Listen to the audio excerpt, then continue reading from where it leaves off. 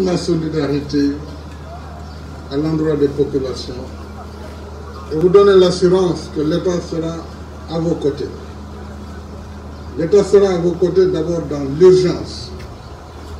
Et l'urgence, c'est de sortir les eaux des maisons et des quartiers. C'est d'assurer également un saupoudrage pour éviter le développement des maladies liées à l'eau. C'est également apporter l'assistance aux familles en termes de ressources financières, en termes de vie. Cette dernière opération, tout comme le pompage, comme vous le savez, et le saupoudrage, ont déjà commencé dès le déclenchement du plan national Orsec. J'ai suivi tout à l'heure les explications données la Brigade nationale de sapeurs-pompiers. Je voudrais, avant d'aller plus loin, féliciter toutes les équipes qui sont 24 heures sur 24 sur le site, les équipes de sapeurs-pompiers, les équipes de l'ONAS, les équipes de l'ensemble des ministères engagés dans ce, dans ce combat avec les autorités administratives, les maires, les délégués de quartier et bien sûr les ministres qui ont en charge le plan ORSEC. J'ai suivi et écouté vos explications et nous allons renforcer vos moyens de pompage.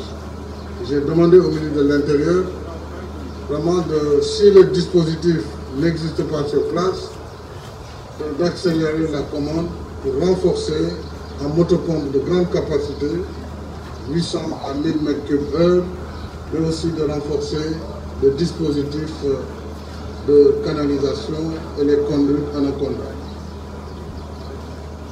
Mais en dehors de ces actions immédiates et urgentes, je suis venu aussi vous dire que des actions très importantes vont être engagées dès la fin de l'hivernage. Nous allons poursuivre et accélérer le programme décennal de lutte contre les inondations. Et dans ce cadre, je peux vous affirmer d'ores et déjà qu'une enveloppe de 30 milliards est disponible.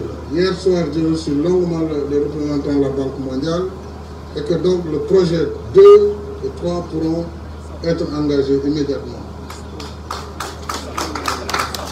Nous avons aussi, dans le cadre du budget, j'avais demandé des, des, ressources immédiates, au moins 13 milliards qui pourront être affectés à l'honneur pour que ces deux projets soient interconnectés. Et moi-même, dès la fin de ma visite à l'intérieur des régions la semaine prochaine, je vais coordonner une rencontre avec les différents ministères, avec les services de l'ONAS, de l'ADN, de l'AGERO, de tous ceux qui interviennent sur l'assainissement, bien sûr avec euh, les autres ministres concernés, afin que les travaux puissent démarrer dès la fin du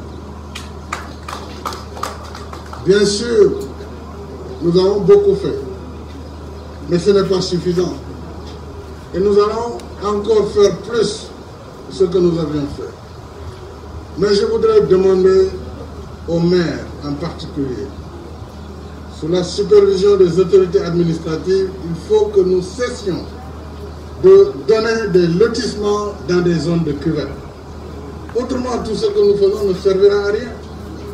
Parce que chaque fois que nous allons traiter un problème, les gens iront dans des marigots pour y faire des lotissements. Et donc, dès qu'il y a une pluie, nous aurons encore un spectre désolant des inondations. Donc, nous devons nous, nous, nous aider là-dessus, travailler ensemble la main dans la main, pour que les zones non édificantes ne soient plus des zones autorisées pour l'habitat. C'est ça qui permettra de donner un sens aux actions que nous sommes en train de mener. Énormément de ressources ont été injectées et nous allons continuer à le faire, puisque de façon globale, le département de Pékin est dans des zones de marécage. Quand vous reprenez les anciennes cartes, toutes ces zones étaient des zones de marécage. Mais nous pouvons faire de l'assainissement et nous le ferons, Inch'Allah.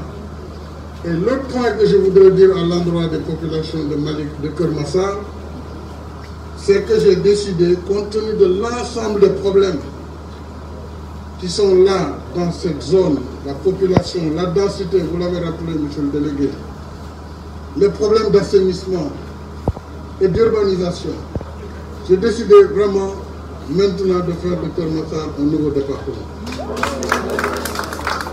Et depuis plusieurs années, d'ailleurs, nous y travaillons.